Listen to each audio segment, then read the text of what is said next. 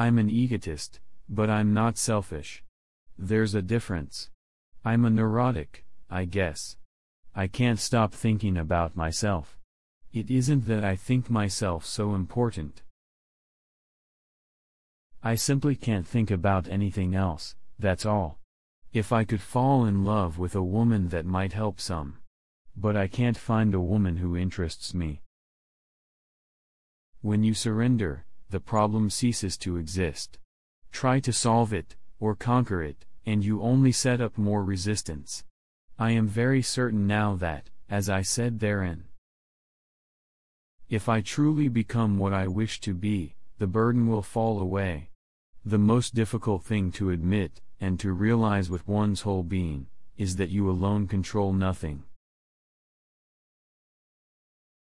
If we are always arriving and departing, it is also true that we are eternally anchored.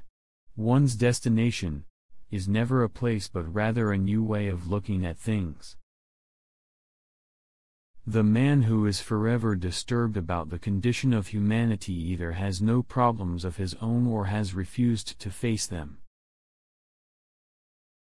If I were reading a book and happened to strike a wonderful passage, I would close the book then and there and go for a walk. I hated the thought of coming to the end of a good book.